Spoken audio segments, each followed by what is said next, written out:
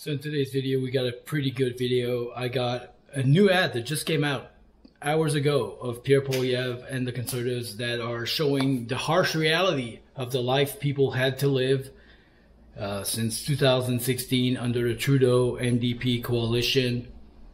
There are many people that are homeless, and this is what this ad is showcasing.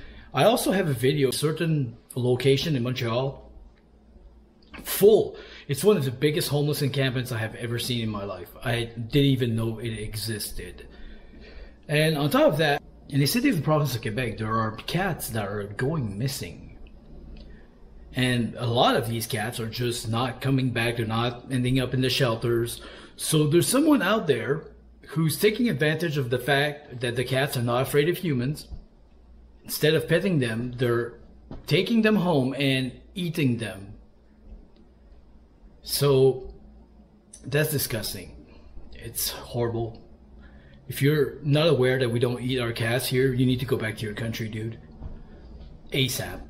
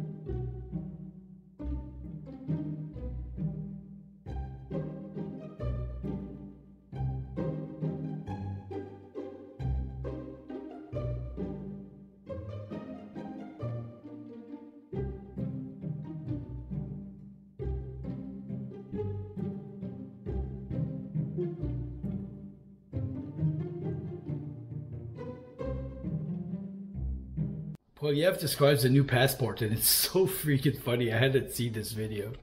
Even Terry Fox had to go. Why?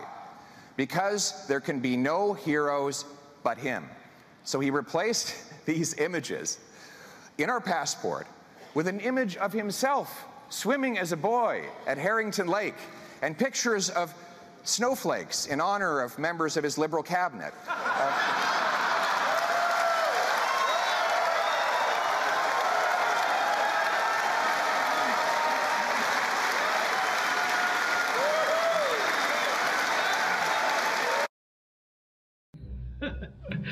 these cats are trying to get away from these uh, Nigerian and uh, people from uh, Haitians, I believe, that are eating the cats.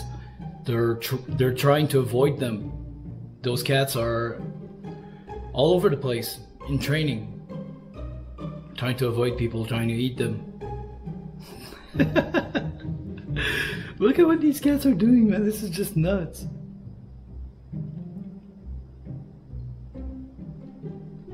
And there was some guy saying this is a made up this is a made up conspiracy theory that was debunked. A guy from the democrats in the united states. How is it debunked? I've seen all i've seen multiple videos of them walking with them in their hands. Geese. Doesn't make any doesn't like it's not a conspiracy theory. We can see with our own eyes bro this video right here, Pierre's trying to figure out where is the money going to come from to pay for this program that will cost $7 billion. And back then he was in the Privy Council and um, the guy who he's talking to, the finance minister back then, does like that's two years ago, I believe. The guy who was finance minister back then, they didn't know where the money was coming from. He was only aware of the costs of the program. That question is directed to who, Mr. Poilievre? Anyone who wants to answer it.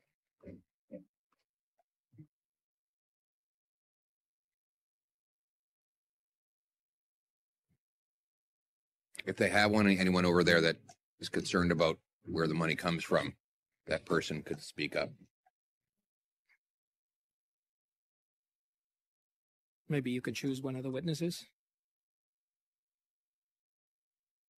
I don't know who uh, on their side uh, is responsible for this, but clearly they're getting the money from somewhere, so they must know where.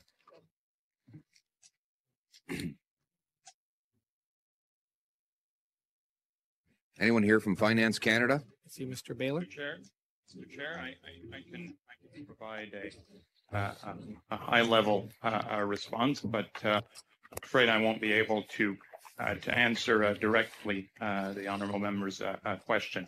How can you be the finance minister and not know where the money is coming from?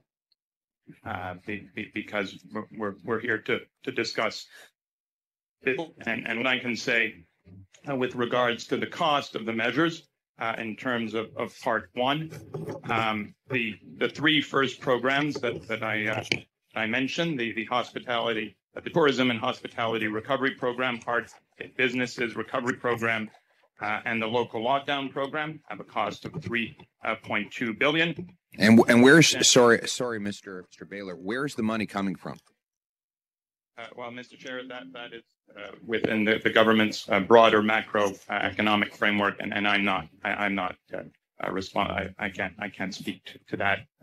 So, so you don't have anyone, it's just that we're, we're being asked to vote in favor of another $7 billion of spending. The obvious question is, where's it coming from? Mr. Chair, as I indicated, I, I, I can discuss the contents uh, of the bill, and I, I appreciate the question, but I, I can't, I can't answer that, that, that question. Don't know where the money's coming from for the program that you're authorizing. All you know is the money, it's how much it will cost, but you don't know where the money's coming from. Jesus. No wonder he's not there anymore. What an idiot.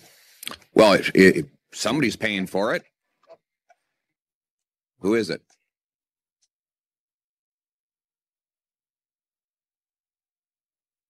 Did the tooth fairy? No answer. We're here uh, respectfully to uh, to answer questions to uh, to C2 as we study. Right. C2 has a $7 billion bill. That's the price tag. Right. That's what I'm asking about. Where's the 7 billion coming from? There's a lot of a lot of people are willing, willing to talk about how they're spending the money, but no one wants to talk about where it comes from. How many witnesses do we have here? We have the number? Mr. Chair? 10? Is it 10? 10 witnesses? 10 witnesses to tell us about how to spend money, but not a single one to tell us where the money comes from.